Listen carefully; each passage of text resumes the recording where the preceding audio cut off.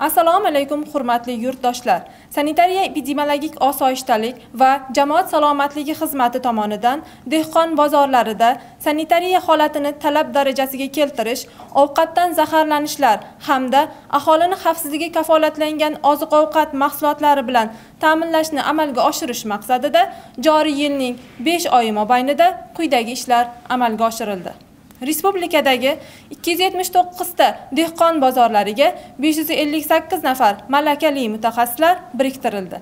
Mutaxassislar tomonidan 61 ta dehqon bozorlarida sanitariya qoidalari normalari va gigiyena normativlariga rioya etilishi ustidan nazoratlar o'tkazildi va barchasida qoida va normalarga rioya etilmaganligi aniqlandi.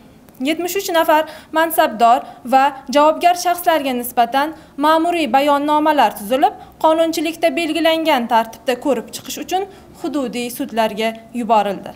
Tibbiy ko'rikdan o'tmagan 72 nafar sotuvchilar aniqlanib, ularni tibbiy ko'rikdan o'tkazish ishlari tashkil etildi.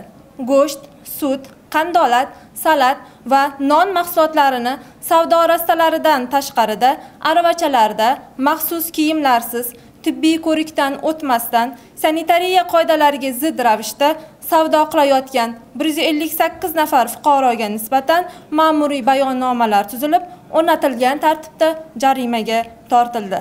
Sifati va xavfsizligi kafolatlanmagan yaroqlilik muddati o'tgan organoleptik ko'rsatkichlari bo'yicha normalarga javob bermaydigan to'rt yuz qirq ming bir yuz to'qson sakkiz butun o'ndan kilogramm oziq ovqat mahsulotlari savdosi taqiqlanib o'rnatilgan tartibda brakovka qilindi.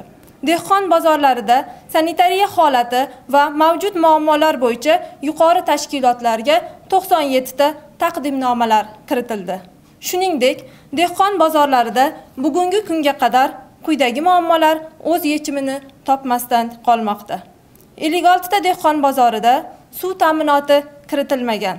Jumladan eng ko'p quyidagi hududlar samarqand viloyatida ellik uchta dehqon bozorlar bo'lib shulardan yigirma to'rttasida jizzax viloyatida yigirma uchta dehqon bozordan yettitasida qashqadaryo viloyatida esa o'n yettita dehqon bozordan oltitasida suv ta'minoti kiritilmagan.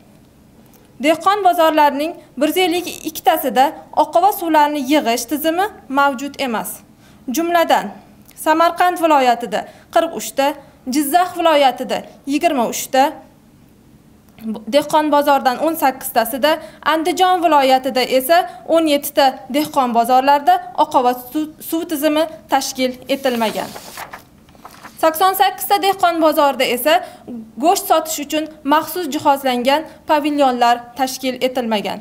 Jumladan samarqand viloyatida yigirma ikkita jizzax viloyatida o'n bitta surxondaryo viloyatida o'n bitta dehqon bozorlarida go'sht sotish uchun maxsus jihozlangan pavilyonlar mavjud emas. Bir yuz yigirma uchta dehqon bozorida sut va sut mahsulotlari sotish uchun maxsus jihozlangan pavilyonlar tashkil etilmagan. Jumladan samarqand viloyatida o'ttiz bitta surxondaryo viloyatida o'n uchta toshkent viloyatida esa o'n yettita dehqon bozordan o'n ikkitasida sut va sut mahsulotlari sotish uchun maxsus jihozlangan pavilyonlar mavjud emas. Respublikadagi o'ttizta dehqon bozorida veterinariya sanitariya ekspertiza laboratoriyalari tashkil etilmagan. Jumladan samarqand viloyatida to'qqizta jizzax viloyatida yettita farg'ona viloyatida esa uchta dehqon bozorlarida veterinariya sanitariya ekspertiza laboratoriyalari mavjud emasligi aniqlandi. O'n bitta dehqon bozorlarida esa chiqindilarni vaqtincha yig'ish uchun maxsus chiqindixonalar tashkil etilmagan. Jumladan qoraqalpog'iston respublikasidagi o'n sakkizta dehqon bozorlardan uchtasida farg'ona viloyatida ikkita dehqon bozorda xorazm viloyatida esa ikkita dehqon bozorlarda chiqindilarni vaqtincha yig'ish uchun maxsus chiqindixonalar tashkil etilmagan.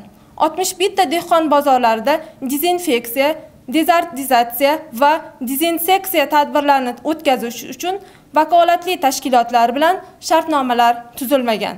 Jumladan jizzax viloyatida 23 ta dehqon bozorlardan 17 tasida, samarqand viloyatida 12 ta dehqon bozorida qoraqalpog'iston respublikasida esa 10 ta dehqon bozorlarida vakolatli tashkilotlar bilan shartnomalar tuzilmaganligi aniqlandi.